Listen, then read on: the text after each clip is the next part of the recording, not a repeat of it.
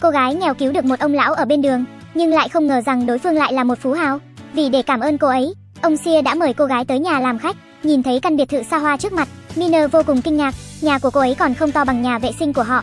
Thế nhưng khi cô ấy đang cảm thán căn phòng ở đâu vừa to vừa đẹp, đột nhiên phát hiện ra Phu Phát cũng đang ở đây. Thế là cô liền cho anh ấy một đá. Hóa ra trước đó, Phu Phát bị người khác truy sát, Miner vô tình đi ngang qua đó nên đã cứu được anh ấy. Kết quả là khi anh chàng này tỉnh dậy ở bệnh viện, liền ôm chặt Miner vào lòng, rồi còn không ngừng nói yêu cô ấy. Hóa ra anh ấy đã nhận nhầm Miner thành bạn gái của mình. Chớp mắt Phu Phát liền tháo chạy, Miner chỉ có thể trả số tiền viện phí lên tới 100.000 bát cho anh ta.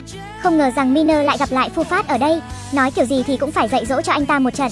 Palin muốn chạy tới để đẩy Miner ra, kết quả là lại khiến cho bản thân mình rơi xuống hồ bơi.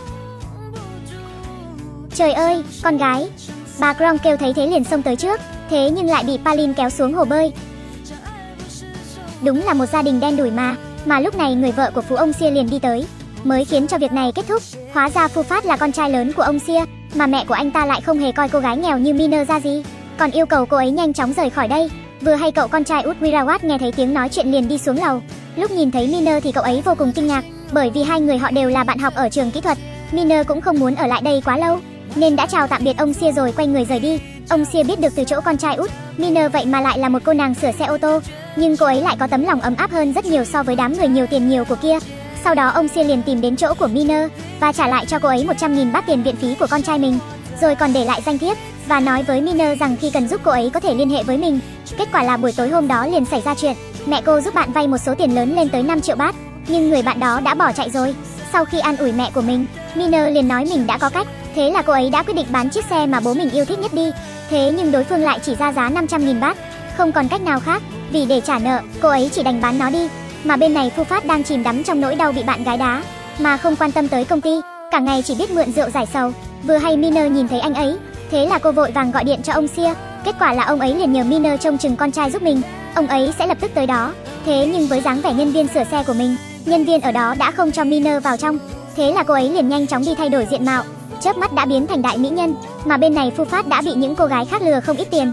May mà ông Sia và Miner kịp thời có mặt. Ông Sia nói mặc dù tiền mất rồi, nhưng người không sao là tốt rồi. Sau sự việc này, ông Sia liền không cho phép Phu Phát ra ngoài nữa. Không ra ngoài cũng được, vậy thì ở trong nhà uống rượu vậy. Vừa hay Miner tới nhà để tìm Wirawat giúp đỡ, lúc chuẩn bị rời đi thì liền nhìn thấy Phu Phát đang uống say khướt. Thanh niên này đi siêu siêu vẹo vẹo liền rơi xuống hồ bơi. Uống say như vậy mà không mất mạng mới là lạ. Miner trực tiếp nhảy xuống hồ bơi để cứu anh ta.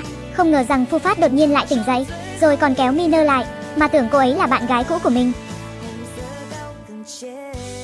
Miner sau khi tháo chạy thành công liền vội vàng chạy lên bờ.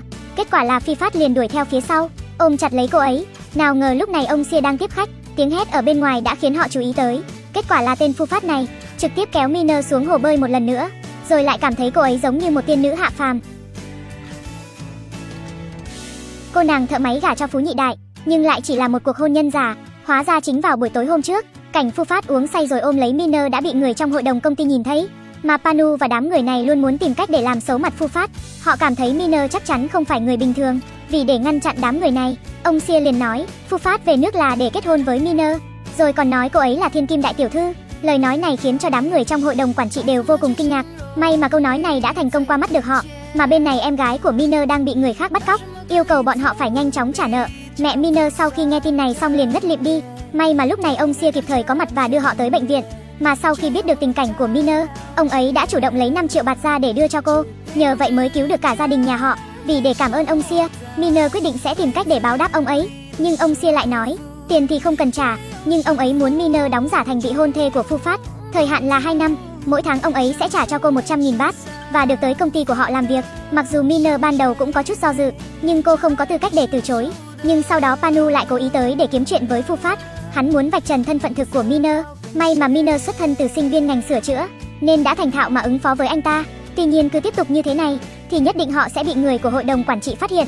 Ông Xia liền nảy ra một kế hoạch mới. Ngày hôm sau bệnh tim của ông ấy đột nhiên tái phát, sau đó liền yêu cầu Phu Phát và Miner kết hôn với nhau.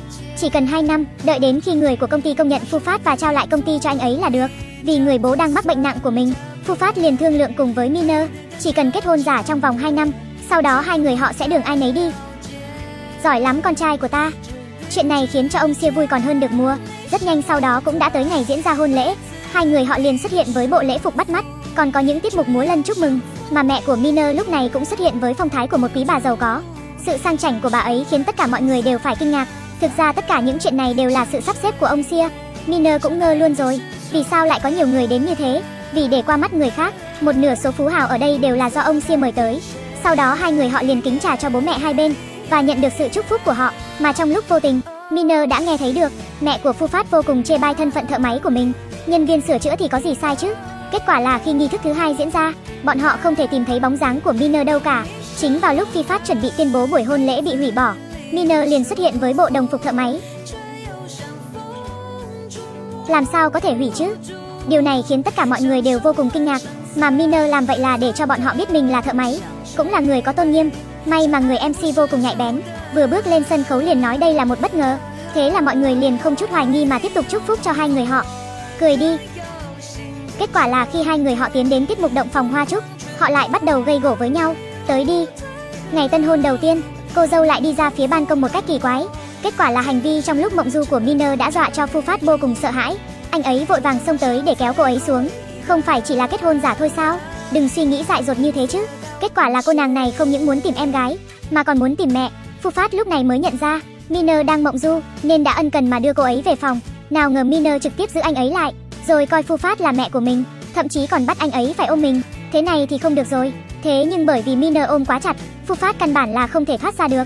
Không còn cách nào khác, anh ấy chỉ đành chiều theo ý của Miner. Nhìn thấy dáng vẻ ngủ say của Miner, Phu Phát liền cảm thấy cô ấy cũng khá là xinh xắn đó chứ.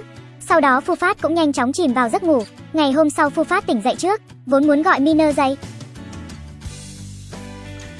Mẹ, đừng động đậy nữa. Trời ơi, Phu Phát ngơ luôn rồi, thế nhưng có vẻ là bộ dâu của anh ấy đã khiến Miner tỉnh dậy. Nhìn thấy người đàn ông trước mặt, Miner vô cùng kinh ngạc, cô không hiểu vì sao Phu Phát lại vào được phòng. Sau đó Miner mới biết bản thân mình bị mộng du. Tiếp đó cô liền vội vàng rời đi. Điều này khiến cho Phu Phát cảm thấy cô ấy thực sự rất dễ thương, bởi vì sự chuẩn bị còn thiếu sót tối qua, ông Sia đã chuẩn bị cho hai người họ một căn phòng lớn. Mặc dù là cùng một căn phòng, nhưng bên trong lại là hai phòng riêng biệt. Miner vừa mới gả vào gia đình hào môn vẫn có chút không quen. Cô ấy quyết định phải là gì đó mới được. Thế nhưng cô ấy lại bị mẹ chồng chê bai một hồi. Palin ở bên cạnh cũng thêm dầu vào lửa mà chế giễu Miner. Mà Miner cũng không phải người dễ đụng vào.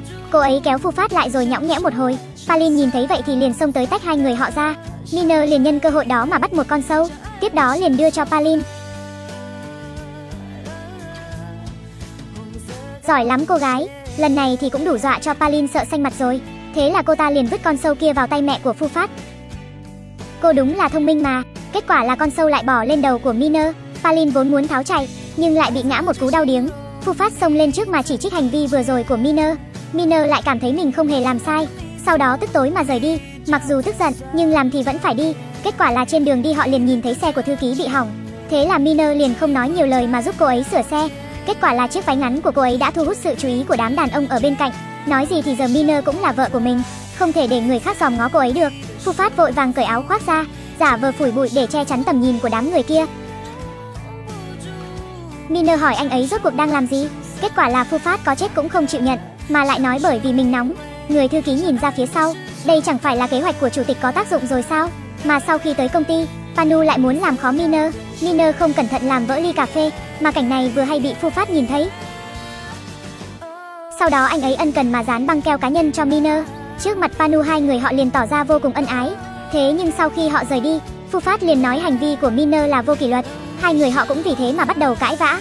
Mà lúc này ông chủ cửa hàng xe, người vẫn luôn thích Miner liền tìm tới. Hóa ra anh ấy biết được, vì để trả nợ nên Miner mới gả cho Phu Phát. Lần này anh ấy tới là để trả nợ thay cho Miner, rồi đưa cô ấy rời khỏi đây. Kết quả là suýt chút nữa họ còn gây gổ với nhau. May mà Miner đã ngăn họ lại và kéo Tiranen đi. Sau đó từ chỗ của Tiranen, cô ấy mới biết được, bởi vì mình gả cho gia đình hào môn, hàng xóm đều đang tới tìm mẹ cô để kiếm chuyện. May mà Miner kịp thời quay về mới giải quyết được chuyện này. Tới tối Phu Phát liền nhận được tin tối nay Miner sẽ không về nhà. Chuyện này khiến anh ấy vô cùng tức giận, muốn tới thì tới muốn đi thì đi. Cô coi nơi này là cái khách sạn sao? Kết quả là nửa đêm, cả nhà Miner liền nghe thấy tiếng động. Một bóng đen bỗng xuất hiện trước cửa nhà họ, rồi lén lút mở cửa nhà họ ra. Miner lấy một xô nước rồi hất về phía tên trộm kia, rồi dạy dỗ cho hắn một trận nên đời. Tên trộm này, hãy xem ta đây. Sau đó cô ấy liền phát hiện người đó chính là Phu Phát. Được rồi, tập phim này đến đây thôi. Các bạn nhớ bấm theo dõi để đón xem diễn biến của những tập phim tiếp theo nhé.